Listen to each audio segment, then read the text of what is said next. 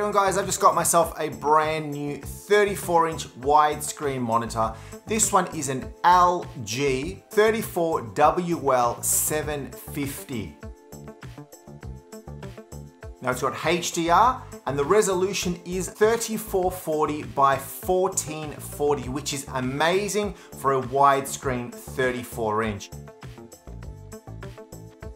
Now, if you are looking for a 34 inch ultra wide, you may actually find that some are different resolution. Some are smaller, some are larger.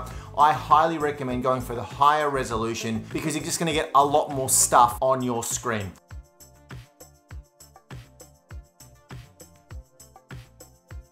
So with it all hooked up, it absolutely looks brilliant.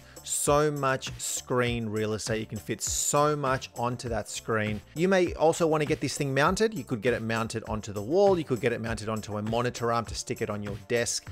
Uh, or you can just use the stand, which is what you're seeing right here.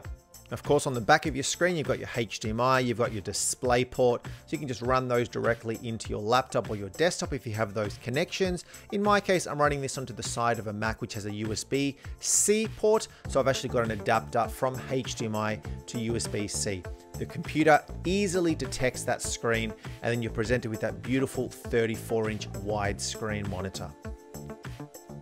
Now I use this monitor for absolutely everything. Use it for gaming, use it for my work. Also use it of course for some video editing and it's amazing. The monitor is easily height adjustable with that built-in stand.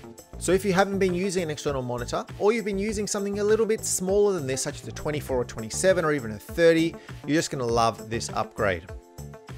Why don't you let me know in the comments below whether you yourself are thinking about getting one. So there you have it, the 34 inch LG ultra wide monitor. Now on my channel, I do release a lot of videos around all things tech. So do remember to subscribe, click on the button on the bell so you don't miss out on anything. And do like this video if you liked it. Thanks for tuning in. Really appreciate your time. See you next time.